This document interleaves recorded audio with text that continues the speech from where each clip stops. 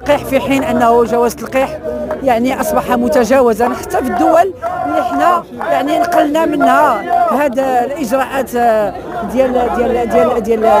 يعني آه،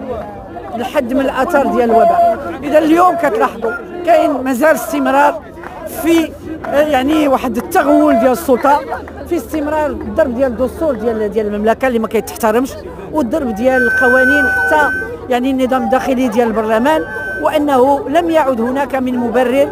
لطلب الإدلاء بجواز التلقيح وهاد الناس مازال كيطلبوا. ربما أنا الوحيدة اللي مازال كيتطلب مني جواز التلقيح في المغرب لماذا أترك لكم أترك لكم الجواب؟ ربما الجواب هو في طريقة باش باش الحزب الاشتراكي الموحد كيتحمل مسؤوليته تجاه هذا الشعب المغربي وأنه حامل كل القضايا العادلة وهو كتلقاه في الواجهة يدافع على الحراك الشعبي ديال الريف والعدالة ديالو على الصحفيين عمر رادي والريسوني الذين سجنوا ظلما وعدوانا وعلى كل القضايا اللي فيها حيف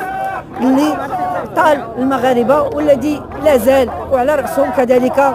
الأساتذة الذين فرض عليهم التعاقد. حنا البارح كنا معاهم هنايا في الرباط.